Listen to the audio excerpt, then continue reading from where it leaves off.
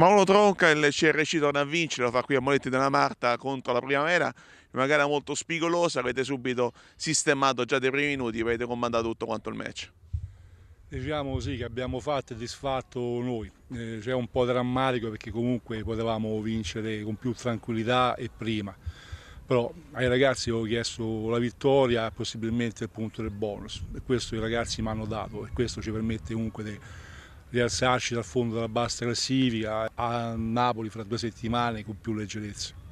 Eh sì, errate questa partita dopo la sconfitta di Perugia, dopo la sconfitta comunque sia un qualche rammarico contro la Capitolina, una partita complicata contro una squadra che era davanti a voi in classifica e anche con le mischie non contest che non hanno consentito di potervi esprimere al meglio secondo me. Sì, diciamo che fa parte della strategia degli allenatori, loro hanno visto che la nostra mischia era nettamente dominante e per evitare calci di punizione e altri gialli hanno fatto in maniera di giocare le mischie no contest, certo ci hanno un po' imbrigliato, non ci hanno permesso diciamo, di giocare con la mischia, però alla fine diciamo,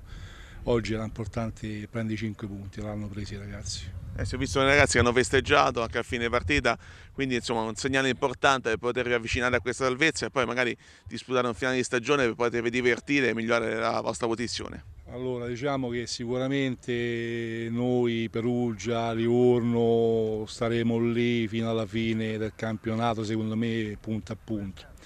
L'importante è allontanare Afragola che è ultima e Villa Panfili che è penultima perché diciamo, l'ultima va direttamente in Serie B e la penultima fa il gironcino insieme agli altri due penultime.